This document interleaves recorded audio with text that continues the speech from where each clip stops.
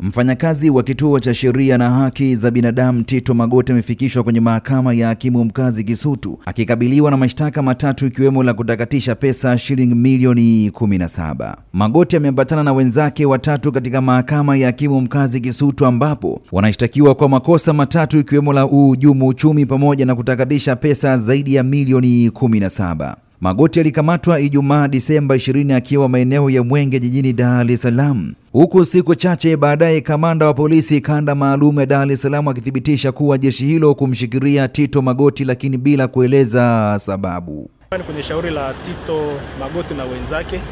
Wamepewa shauri la uhujumu uchumi namba 137/2019 na kosa lao kubwa ni kuendesha genge la uhalifu kutengeneza mfumo wa kompyuta na kujipatia milioni 17 na kuzitakatisha. Kwa hiyo ndio kosa kubwa alilopewa, umesomewa kosa, na kwa aina ya kosa hawaruhusiwi kusema chochote kwa mahakama hii, maana mahakama ina mamlaka na shauri limeahirishwa mpaka tarehe saba mwezi wa kwanza.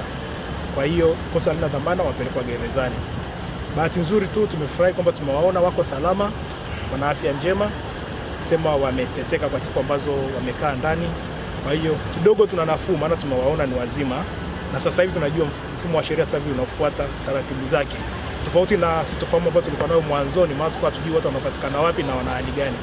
Kwa hiyo kwa sasa hivi ndio hayo tu tulionayo, na wamepelekwa gerezani tutawatembelea huko maamuzi. Hizi ni update kutokea Uhondo TV. Mimi naitwa Fadhili Komba. Kitu cha msingi ni kuendelea kusubscribe, like, komenti na kushare.